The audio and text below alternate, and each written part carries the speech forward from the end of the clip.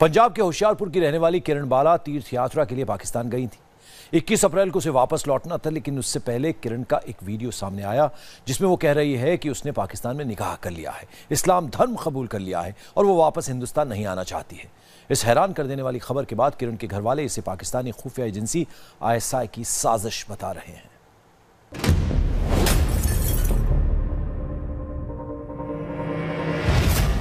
पंजाब की किरण पाकिस्तान में क्यों बनी अमीना?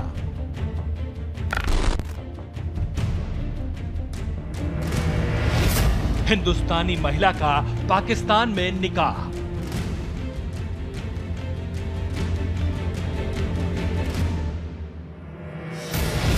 क्या आईएसआई ने कराया किरण का धर्म परिवर्तन? पंजाब के होशियारपुर की रहने वाली किरण उर्फ़ अमीना की कहानी बॉलीवुड की किसी सस्पेंस थ्रिलर फ़िल्म से कम नहीं है। जिस किरण का जन्म हिंदुस्तान में हुआ, जिसने अपनी ज़िंदगी के कई साल पंजाब में बिताए, वही जब पाकिस्तान गई तो वापस लौट कर नहीं आई। आया तो ये एक वीडियो। यहाँ से नहीं जाऊँगी। अगर मुझे यहाँ से भेजा गया तो मेरी मौत ही मिलेगी। बस। फिर ज़्यादा मसले बनेंगे, फिर सही रहेंगे सारे।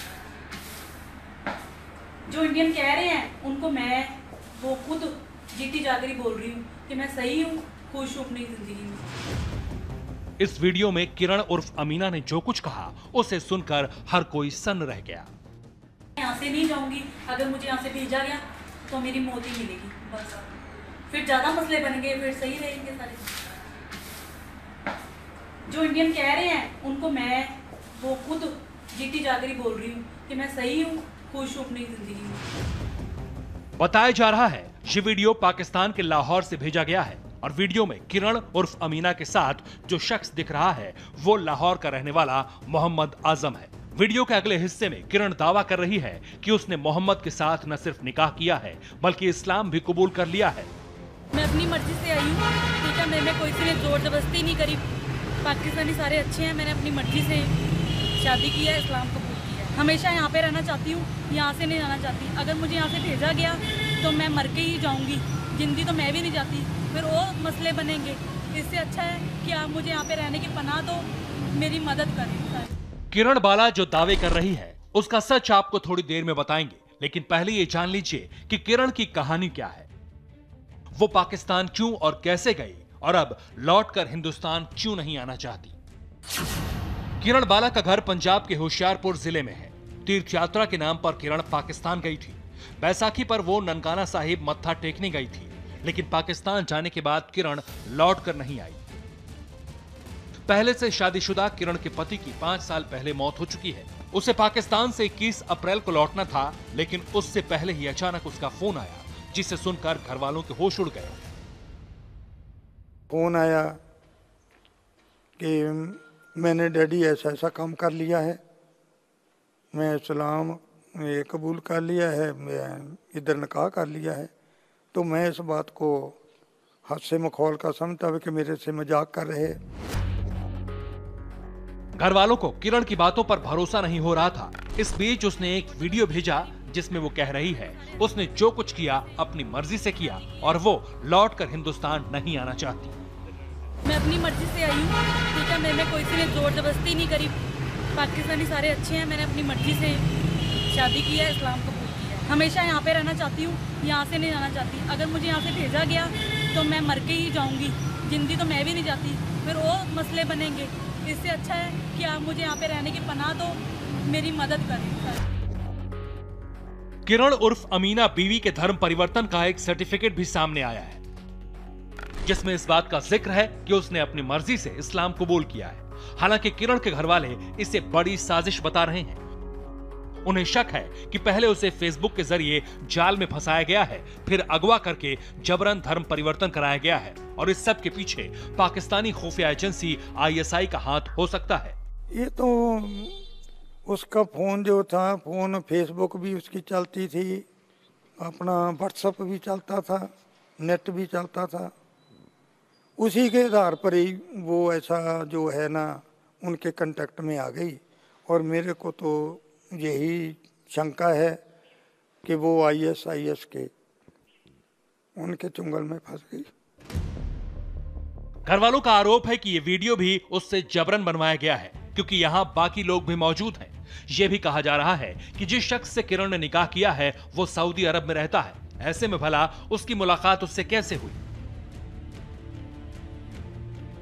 बहरहाल किरण उर्फ़ अमीना पहले से शादीशुदा ही नहीं है बल्कि उसके तीन बच्चे भी हैं जो दादा दादी के साथ होशियारपुर में रहते हैं। अब बच्चे भी मम्मी से लौटने की गुहार लगा रहे हैं।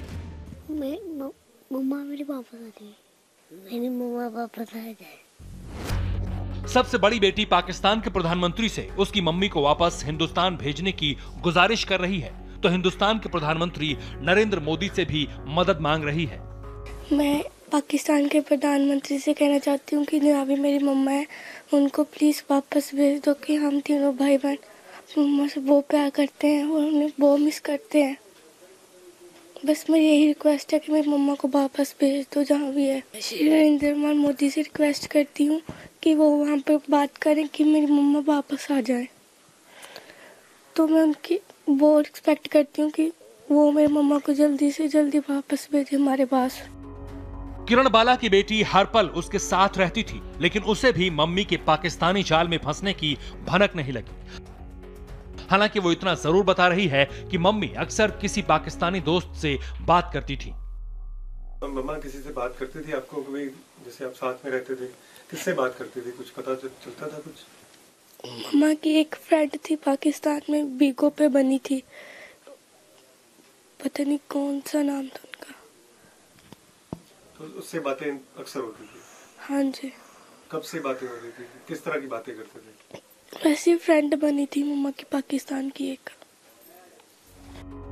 किरण की सास भी यही दावा कर रही हैं कि पिछले काफी दिनों से वो ज्यादातर वक्त अपने कमरे में बंद रहती थी नेट पर चैटिंग करती थी और घर वालों के सामने फोन भी छिपा लेती थी ਹਾਂ ਫੋਨਾਂ ਤੇ ਫੋਨ ਆਉਂਦੇ ਸੀ ਉਹਦੇ ਨੈਟ ਚੱਲਦਾ ਸੀ ਪਰ ਸਾਨੂੰ ਦੱਸਦੀ ਕੁਛ ਨਹੀਂ ਜੇ ਮੈਂ ਅੰਦਰ ਆਂਦੀ ਸੀ ਤਾਂ ਬੰਦ ਕਰ ਲੈਂਦੀ ਸੀ ਕਿਤੇ ਨਾਲ ਮੈਂ ਬਾਹਰ ਵੀ ਜਾਣਾ ਉਸ ਲਈ ਵੀ ਮੇਰੇ ਸਾਹਮਣੇ ਬਾਤ ਨਹੀਂ ਸੀ ਹੁੰਦੀ ਉਹਦੀ ਮੇਰੇ ਤੇ ਚੋਰੀਆਂ ਹੁੰਦੀਆਂ ਸੀ ਸਾਰਾ ਸਾਰਾ ਦਿਨ ਅੰਦਰ ਪਈ ਰਹਿੰਦੀ ਸੀ ਲੰਮੀ ਬਾਹਰ ਨਿਕਲਣਾ ਹੀ ਨਹੀਂ इस बात से इनकार नहीं किया जा सकता कि हिंदुस्तान की एक भोली भाली सिख महिला को पहले इंटरनेट के जरिए फंसाया गया फिर उसे साजिश के तहत पाकिस्तान बुलाकर जबरन धर्म परिवर्तन करा दिया गया दरअसल किरण 12 अप्रैल को पाकिस्तान रवाना हुई थी किरण बाला का वीजा 21 अप्रैल तक वैलिड है वीज़ा बढ़ाने के लिए उसने पाकिस्तान में अर्जी दे दी है। पाकिस्तानी विदेश मंत्रालय को भेजी ये वही दरख्वास्त है जो किरण ने वीज़ा बढ़ाने के लिए दी है। इसमें उसने अपना नाम अमीना बीवी ही लिखा है। पाकिस्तान वीज़ा बढ़ाता है या नहीं, इसका पता 21 अप्रैल को लगेगा। लेकिन किरण के घर वाले उससे लेकर फिक्रमंद हैं। वो चाहते हैं कि विदेश मंत्रालय के साथ साथ पंजाब सरकार भी किरण को वापस लाने की कोशिश करे, ताकि वो अपने बच्चों के पास आ सके। Jagdeep Sandhu India TV Hoshiarpur Punjab.